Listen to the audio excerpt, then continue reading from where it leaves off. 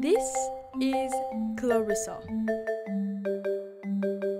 She suffers from a condition called clinical lycanthropy. My horse addiction started when I was 9 years old.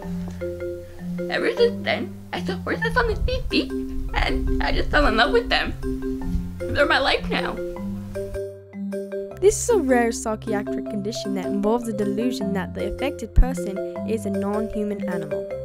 My friends always tell me that it's weird that I do these things. But honestly, it's completely normal, and this is my life.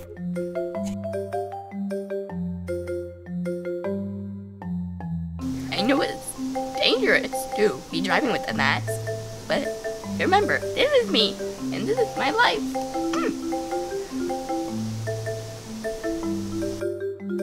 This condition clearly affects her daily lifestyle.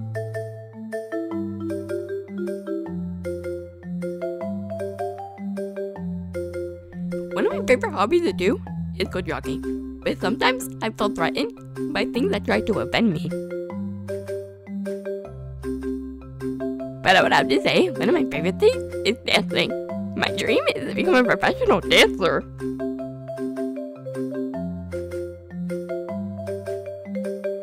This might seem strange or eye opening to some people, but Klarissa claims that she's never giving up. It's really hard for me to leave my house without my mask. But even without my mask, you know, I still am who I am inside.